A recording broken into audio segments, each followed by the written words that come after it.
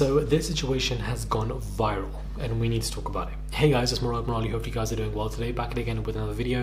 If you haven't subscribed, guys, click that button for daily and consistent content. Head over to my Instagram, my Patreon, my merch, and let's just get straight into this video. So this took place at Arlo Hotels in New York, where we have a woman who believed a young individual stole her phone.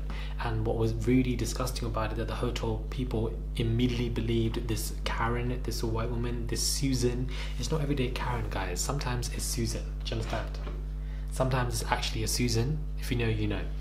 Um, Leon Harrold and his 14 year old son were approached in the lobby of the Arlo Hotel in Soho neighborhood of Manhattan on Saturday.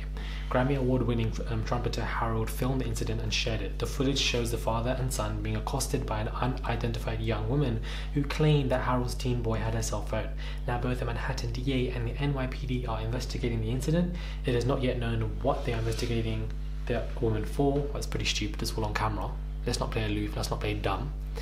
There's pictures of her with her mask as it slips. You can see her full face, and I feel like this needs to be we need to raise awareness for this, spread awareness for this because you can't come and do this. I think it's okay. What has made you what has possessed you? What has possessed you to think that this young boy stole your phone? Because I don't understand. It doesn't make any sense to me.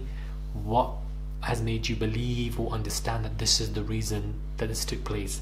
that this was the boy. And the fact that the hotel people immediately sided with this woman rather than the child is ridiculous. It shows that the hotel are incompetent that they're not out there for their hotel guests especially their guests who are under the age of 18 it is absolutely deplorable vile and disgusting and this woman needs to be found. Because the fact that you were so quick to blame these two individuals for stealing your phone when in actual fact it wasn't it's given me possession. That's what it's given me. That's the theme of this video possession. You were possessed by something.